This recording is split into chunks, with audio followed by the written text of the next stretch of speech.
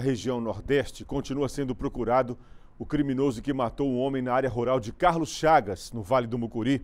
Segundo a polícia, Miguel, os dois homens beberam e comeram por aproximadamente quatro horas antes do crime.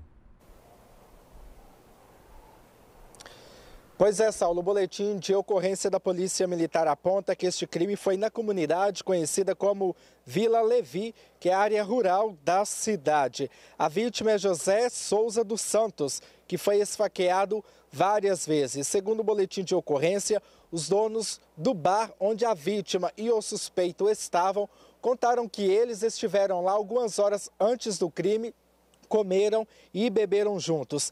Testemunhas, porém, não souberam informar se eles haviam né, se desentendido antes do crime, mas que o crime, o crime ocorreu quando o bar já estava fechado. Após o assassinato, o suspeito subiu na motocicleta dele e fugiu. Até o início desta edição, ele não foi localizado.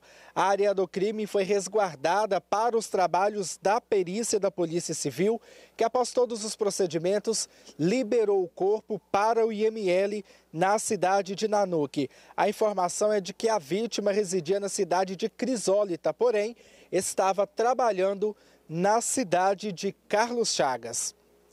Eu volto com você, Saulo.